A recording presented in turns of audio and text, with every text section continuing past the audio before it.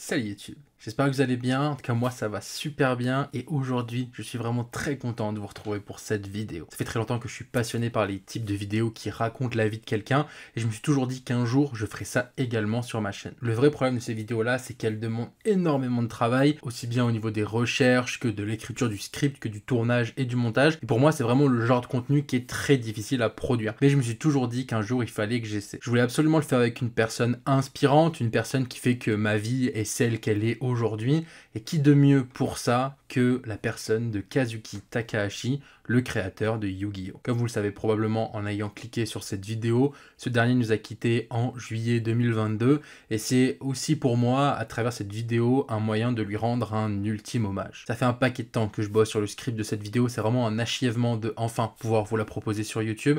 Pour info, j'ai commencé, la première fois que j'ai ouvert ce fichier là, qui est juste devant mes yeux et que je suis en train de lire au fur et à mesure de la vidéo, c'était le 7 février 2022, soit il y a plus d'un an et demi et également avant le décès de Kazuki, ce qui a pas mal changé la forme de la vidéo au cours de son écriture. Entre la recherche d'informations assez compliquée parce que tout est pas forcément disponible ni en français ni en anglais et que souvent traduire les sites japonais directement avec un traducteur c'est littéralement un enfer, plus le fait que je voulais absolument faire une vidéo complète et pas une vidéo euh, résumée de sa vie euh, type page Wikipédia, je voulais vraiment essayer d'apporter un maximum d'infos, et bah la réalisation de cette vidéo c'était un travail juste colossal. Donc si jamais cette vidéo vous plaît et que vous passez un bon moment, et bah franchement le meilleur moyen de le faire savoir, c'est juste de lâcher votre meilleur pouce et votre commentaire pour me dire ce que vous en avez pensé. C'est un projet qui me tient énormément à cœur, donc évidemment vos retours seront très appréciables. Bref, assez de blabla, plus de vidéos, asseyez-vous confortablement, prenez un petit chocolat chaud ou un petit plaid, j'en sais rien, et apprêtez-vous à plonger dans la vie de celui qui a bercé la nôtre.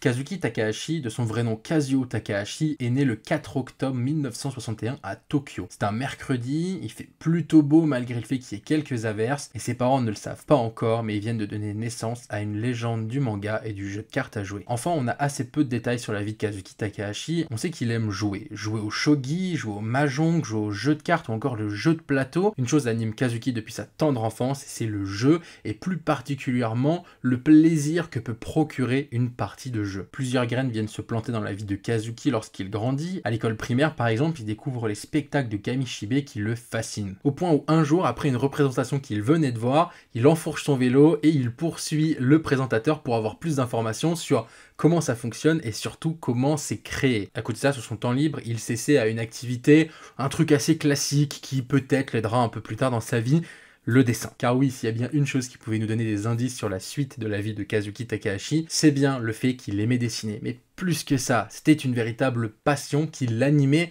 Il adorait créer des personnages, leur inventer une petite histoire et surtout essayer de les faire vivre. On sait également qu'il a grandi avec plusieurs inspirations qui l'ont amené à devenir le mangaka qu'il est devenu, comme Hellboy sorti dans les années 90, qui était son personnage de bande dessinée américaine préféré. D'ailleurs, plus globalement, il adorait vraiment les comics et les super-héros, ou encore des œuvres mythiques comme Akira, Jojo Bizarre Adventure ou encore évidemment Dragon Ball. En grandissant, on aurait pu penser que sa passion pour le jeu aurait pu s'estomper comme beaucoup d'entre nous lorsqu'on est devenu adolescent, mais pour Kazuki c'est pas du tout le cas, ça s'est même renforcé. C'est un fin animateur de jeux de plateau, il a un véritable petit faible pour Donjons et Dragons, ce qui inspirera par la suite plusieurs facettes de Yu-Gi-Oh! Il indique également à plusieurs reprises que l'un des jeux auxquels il aurait le plus envie de jouer, c'est RPG Table Talk, un jeu auquel il pouvait jouer des heures et des heures avec ses amis. En 1993, il a une révélation. C'est le jeu de cartes, le TCG dont tout le monde parle, Magic the Gathering, et Kazuki ayant toujours aimé les jeux et les jeux de cartes, il plonge la tête première dedans. D'ailleurs, fun fact, mais le premier nom donné au jeu de cartes Yu-Gi-Oh! était Magic and Wizard, et je pense qu'on peut difficilement dire qu'il n'y avait pas une petite inspiration de ce côté-là. À côté de ça, Kazuki, il a un kiff, c'est faire de la plongée, de la plongée sous-marine. Alors la plupart des gens vont plonger avec une bouteille de gaz pour rester un maximum de temps sous l'eau, etc. Lui, son truc, c'est la plongée en apnée. Alors c'est pas la plongée la plus répandue, mais c'est son truc à lui, et ce qu'il veut, c'est repousser ses limites le plus possible à chaque fois. C'est à peu près tout ce qu'on connaît de la vie perso de Kazuki Takahashi. Il est globalement resté assez discret sur tout ça, et il est très difficile de trouver des petites anecdotes, des petites infos concernant sa vie. Mais bon, tout ça c'est bien beau. Si on passait au vif du sujet, son parcours en tant que mangaka.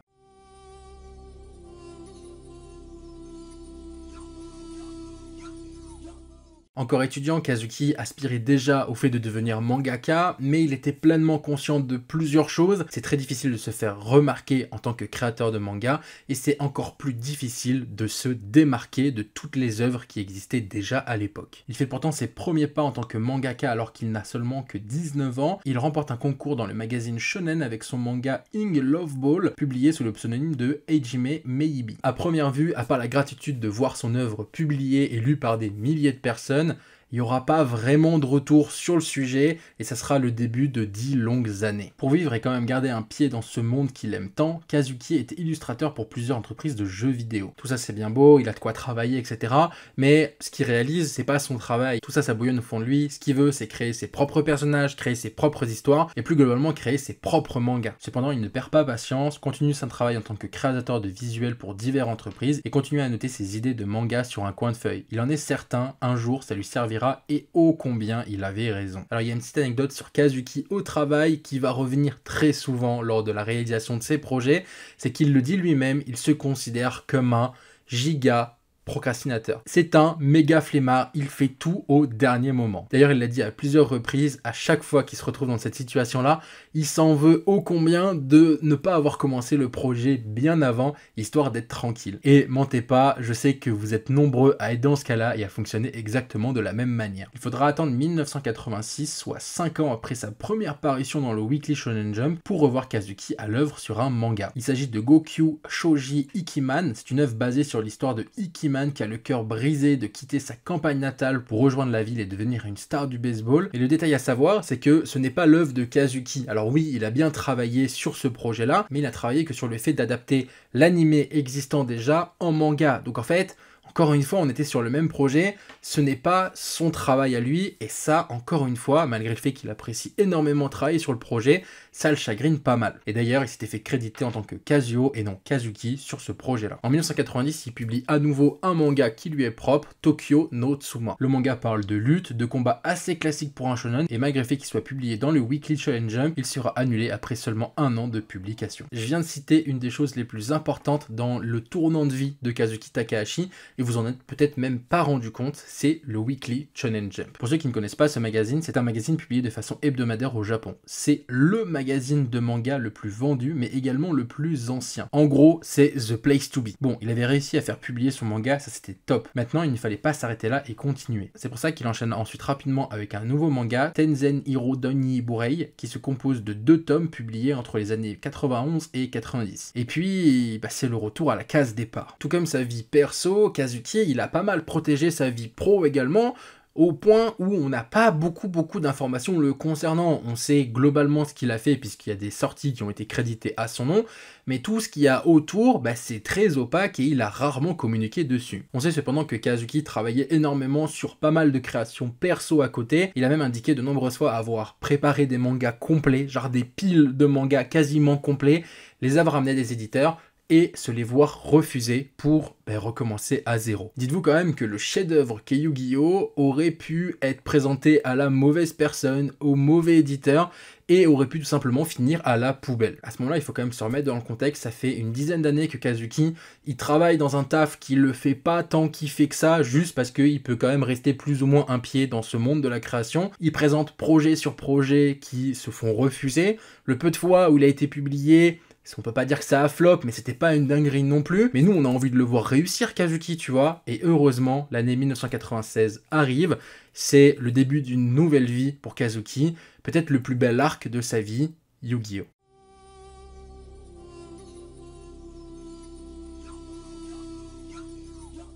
Alors, petit kiff perso, je tiens à signaler que 1996, c'est une bête d'année, hein, big up à tous les frérots nés en 1996, et c'est cette année-là qu'il faudra attendre pour voir les premières planches publiées, toujours dans le magazine Weekly Challenge. Et contrairement à ses autres œuvres, c'est un succès immédiat. Dans l'esprit de Kazuki, le manga n'était pas du tout celui que nous connaissons actuellement. Il voulait un shonen, c'est un fait, mais il ne voulait pas un shonen de combat à coups de coups de pied ou coups de poing comme la plupart des autres shonen présents sur le marché. Ce qui est assez marrant quand on sait que Joey et Tristan sont des giga bagarreurs au début du manga. Quoi qu'il en soit, lui ce qu'il voulait c'était baser l'histoire de son héros sur le jeu. Et plus globalement, les shonen classiques bagarre évolution, il l'avait déjà fait plusieurs fois, ça avait pas marché de ouf, donc autant essayer de faire quelque chose de différent, autant essayer de se démarquer. Kazuki a toujours visualisé les jeux comme une façon de devenir un héros, et d'une certaine façon on le retrouve complètement dans l'histoire de Yugi, un garçon un peu petit, l'air un peu faible, devenir un héros fort et puissant lorsqu'il se met à jouer, un peu comme un enfant lorsqu'il perçoit un adulte jouer au même jeu que lui. Les premiers tomes de Yu-Gi-Oh sont assez sombres avec un Yugi qui n'a aucune pitié lorsqu'il commence à utiliser le jeu, utilisant aussi bien des jeux de cartes que des lancers de dés et même parfois des armes blanches ou encore du feu. L'idée initiale du manga Yu-Gi-Oh c'est d'utiliser un jeu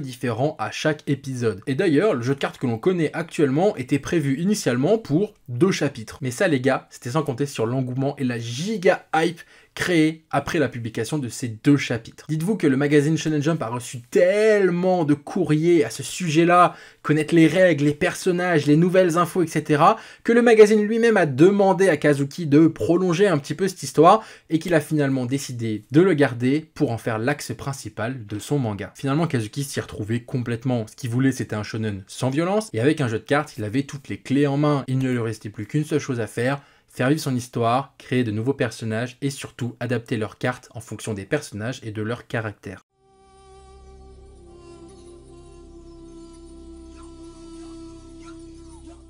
Kazuki était extrêmement impliqué dans la rédaction de son manga, au point où il était vraiment très pointilleux sur des petits détails. Par exemple, pour l'arc Shadi, il a fait un voyage en Égypte pour récupérer un maximum d'informations et que le manga soit le plus fidèle possible. Malgré le fait qu'il adorait créer de nouvelles cartes pour son histoire, il admettra qu'il est très difficile de trouver de nombreux nouveaux monstres. Le fait de devoir créer des monstres qui sont adaptés aux personnages, par exemple des dinosaures pour X-Raptor, et le fait de devoir adapter ses propres créatures aux personnalités du joueur qu'il joue, bah, ça lui demandait énormément de Mais quand on voit par exemple les personnages vicieux qu'il a pu faire pour Seto Kaiba, je pense que l'on peut largement considérer que c'est un travail réussi. D'ailleurs, fun fact concernant Kaiba, mais le personnage en lui-même vient directement de l'esprit de Kazuki parce qu'il a voulu retranscrire dans Kaiba ces joueurs qui euh, jouent à des jeux, que ce soit un jeu de cartes, jeu de société, et qui se considèrent systématiquement meilleurs sous prétexte qu'ils connaissent mieux le jeu, qu'ils y jouent plus longtemps que toi, ou qu'ils ont simplement plus de cartes. Ce qui est démontre, pas mal de cartes emblématiques sont signées de la main de Kazuki Takahashi, comme le Dark Magician, les héros élémentaires,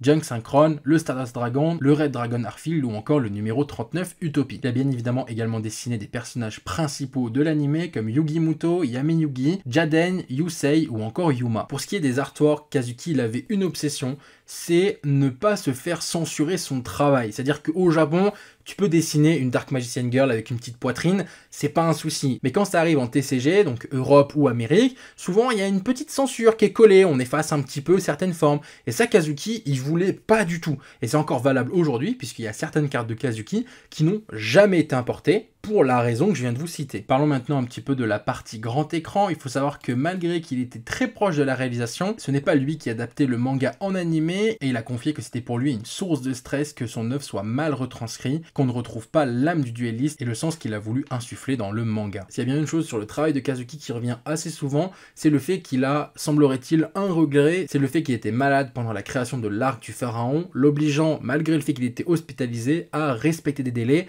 et donc par défaut couper certaines parties qu'il aurait bien voulu explorer. Il regrette notamment que toute la partie concernant le prêtre Seto et Kizara ait dû être raccourcie, expliquant notamment la relation entre Seto Kaiba et son dragon blanc aux yeux bleus. Il plaisante également en disant que la conception de Zork Necrophade était due à sa somnolence de l'époque. Et oui, on a donc une explication sur ce magnifique Dragon Beat. Enfin, je crois. Concernant les arcs Yu-Gi-Oh, Kazuki s'était promis que Yu-Gi-Oh GX serait la dernière série Yu-Gi-Oh existante. Cependant, il a été approché fin 2006 avec l'idée de Yu-Gi-Oh 5Ds. L'équipe de production et plus globalement le conseil administratif de la télévision, c'était des amis et des collègues de longue donc Kazuki a accepté et s'est mis à travailler sur cette nouvelle série. À condition que ce soit la dernière. Bon, spoiler, malgré ça, il y aura encore 4 séries derrière. On a eu Zexal, Arc 5, Vrains et plus récemment Yu-Gi-Oh 7. On sait qu'à partir de Yu-Gi-Oh 5Ds, euh, Kazuki il était beaucoup moins impliqué dans la partie création, laissant le travail à ses collègues au sein de son entreprise, le studio DICE. Pour ce qui est des films, Kazuki s'est pas mal impliqué également. Par exemple, pour Pyramide de Lumière, la conception du principal méchant du film, Anubis, est une création de Kazuki. Pour le film Au-delà des temps, il a également fourni une animation clé de la scène où Yami Yugi tire une carte au début de son tour, et la scène où Yugi enfile son nouveau duel disque et il met son deck pour affronter Egami dans The Dark Side of Dimension, c'est également une création de Kazuki Takahashi. D'ailleurs, parlant de Dark Side of Dimension, il faut savoir qu'il y a un manga qui s'appelle Transcend Game de deux tomes qui est sorti pour justement faire le lien entre l'anime et le film.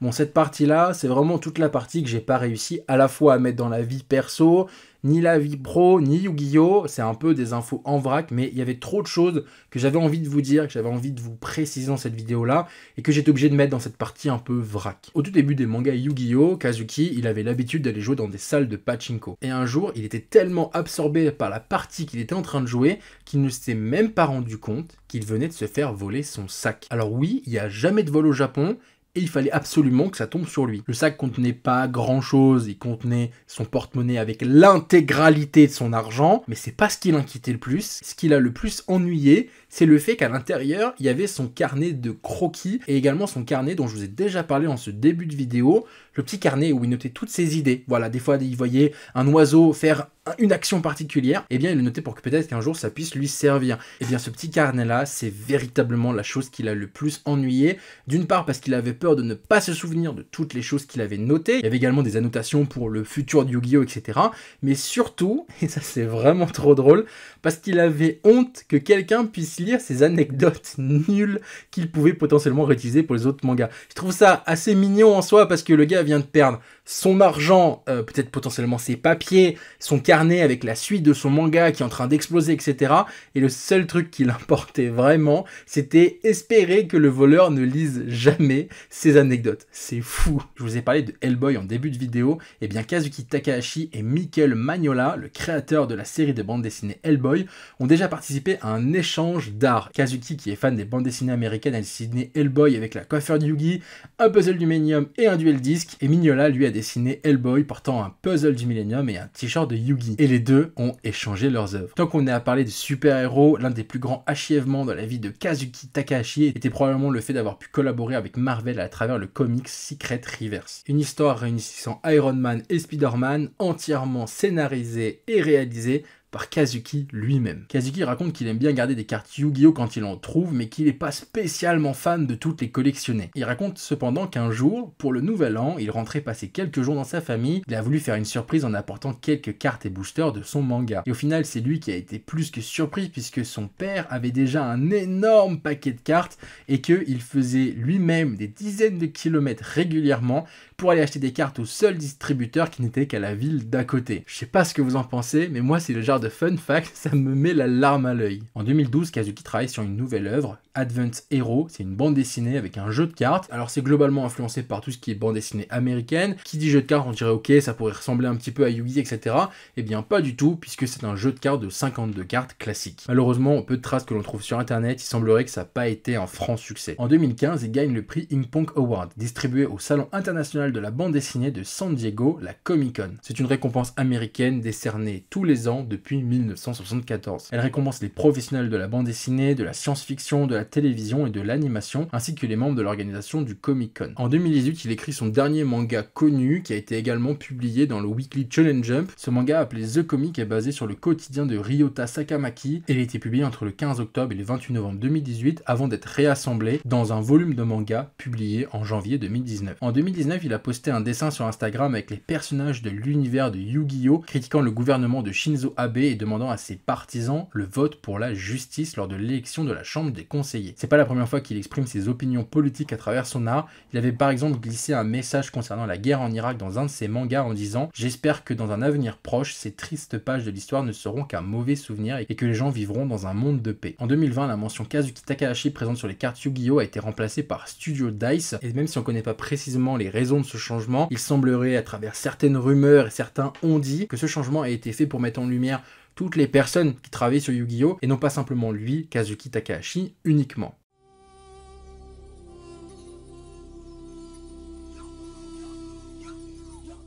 Tout ça pour nous amener à ce moment-là de la vidéo, le 4 juillet 2022. Alors que nous, joueurs Yu-Gi-Oh! on attendait avec impatience l'arrivée de Pouvoir des éléments, que les joueurs compétitifs se préparaient pour l'Europe qui arrivait dans quelques semaines. Un événement tragique s'est déroulé, l'événement auquel absolument personne ne s'était préparé. Alors que Kazuki s'offrait une petite plongée sous-marine, il voit trois personnes en détresse dans l'eau à cause d'un fort courant et d'une mauvaise météo sur le spot de plongée. Au même moment, un major de l'armée américaine également présent sur place, Robert Bourgo, s'est alors jeté à l'eau en premier pour aller sauver les trois personnes de la noyade. Il parvient à en sauver un, puis deux. une mère et sa fille. Kazuki Takahashi, témoin de la scène et fort de son expérience en plongée, ne réfléchit pas une seule seconde et saute à son tour pour tenter de sauver la dernière personne actuellement en proie aux vagues. Cet acte héroïque, c'est la dernière fois qu'on vu Kazuki Takahashi en vie. Le courant était vraiment fort et il a été emporté par les vagues. Il faudra attendre le 6 juillet 2022 à 11h27 pour que des touristes retrouvent son corps sans vie au large de Nago, préfecture d'Okiwana. Les pompiers sont appelés, mais malheureusement il était déjà trop tard. Kazuki Takahashi est déclaré décédé. Kazuki Takahashi aura passé 60 ans de sa vie à faire grandir son personnage et son shonen,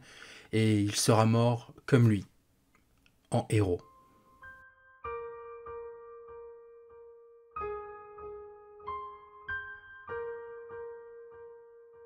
Et bien voilà, cette vidéo est maintenant terminée. J'ai essayé de vous faire un résumé le plus complet possible de la vie de Kazuki Takahashi. Il y a énormément de choses que je n'ai pas pu inclure parce que c'était pas forcément extrêmement pertinent d'en parler. Il y a beaucoup de choses qui gravitent autour du monde de Yugi qui ont évidemment été faites par Kazuki et que j'ai pas pu mentionner dans cette vidéo. J'ai vraiment essayé de mentionner toutes les choses qui étaient importantes, en tout cas qui étaient importantes à mes yeux.